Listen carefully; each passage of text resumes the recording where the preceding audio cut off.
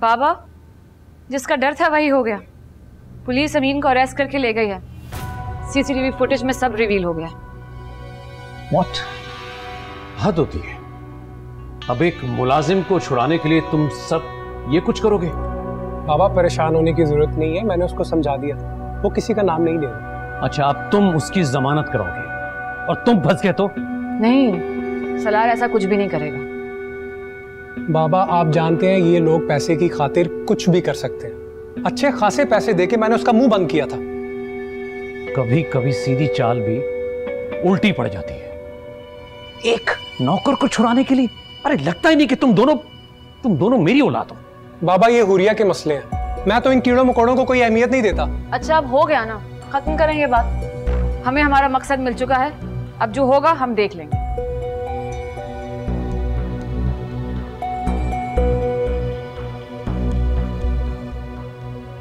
Sir जी मैं तो सिर्फ़ ऊपर गाड़ी की चाबियाँ रखने गया था जी। देखो हमारे पास सिर्फ़ ये फुटेज नहीं है जिससे ये साबित होता है कि तुम चोरों की तरह ऊपर गए जहाँ सामान रखा हुआ था। हमारे पास और भी एविडेंसेस हैं। और उसके बाद तुम चोरों की तरह नीचे भी आए। जब तुमने चोरी की नहीं तो फिर चोरों की तरह वहाँ इस तरह घूम क्यों रहे थे? मुझे क्या पता जी?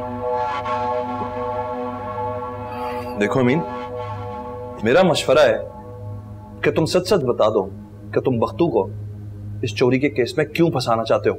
साहब मैं बख्तू को क्यों फंसाऊँगा जी? मैं झूठ नहीं बोलता जी। ना मैंने पहले कभी झूठ बोला ना आप झूठ बोलूँगा जी। सच तो तुम्हारे अच्छे भी बोलेंगे हमारे पास सारे तरीके हैं। ये बता दूँ। गुलाम नबी? यस सर लेके जाओ यार साहब साहब साहब साहब साहब साहब मैं बताता हूँ साहब साहब मैं सब कुछ साफ़ साफ़ बताता हूँ साहब साहब साहब साहब मेरा मकसद चोरी करना नहीं था जी। मैं तो बस इस बख्तू को नीचा दिखाना चाहता था जी। क्यों? साहब चिड़ची हो गई थी मुझे इससे। दिलावर साहब बहुत अहमियत देते थे उसे और ये भी बड़े रौब में घूमता था। जबकि मैं इससे ज़्यादा पुराना खादिम हूँ जी उनका। बस जी ये सब मुझे देखा नहीं गया और मैं हसद में आके सब कुछ किया जी। नियत मेरी खराब नहीं थी जी। नियत मेरी बुरी नहीं थी। जी मुझे जाओ इसे लेके जाओ। साहब साहब प्लीज़ मुझे माफ़ कर डालो दो साहब साहब साहब साहब साहब। हद हो भाई। हाला सुना तुमने? क्या अमीन ने अंगूठी चुरा के बख्तू के खाते में डाल दी। वो तो उसकी फ़िल्म बन गई थी तो पुलिस वाले उसे पकड़ के ले गए। हाय अल्लाह इसका मतलब है कि बख्तू बेचारा बेगुनाह है। अभी तक तो पुलिस वालों ने इसकी हड्डी पसली कर दी होगी। वो बेचारा तो पहले ही डेढ़ पसली था। अरे मज़ाक ना उड़ाया करो दूसरों का। शुक्र कर मुलजिम रातों रात पकड़ा गया वरना इल्ज़ाम हम सबके सरों पर होता।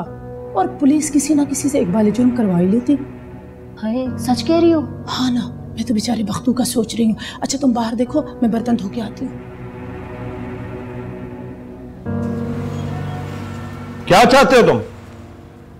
मेरा मतलब है क्या चाहती हो तुम हैं? क्या किया जाए तुम्हारे साथ?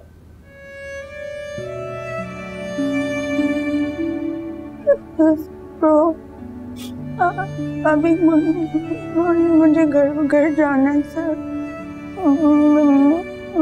माँ बहुत परेशान होगी मेरी मैं कभी भी घर से रा, रा, रात भर बाहर नहीं निकली इतनी आसानी से तो मैं नहीं छोड़ा जा सकता समझी तुम? मैं जानती हूँ सर मैं मैं जानती हूँ मैं- मैं- मेरा बहुत बड़ा गुनाह है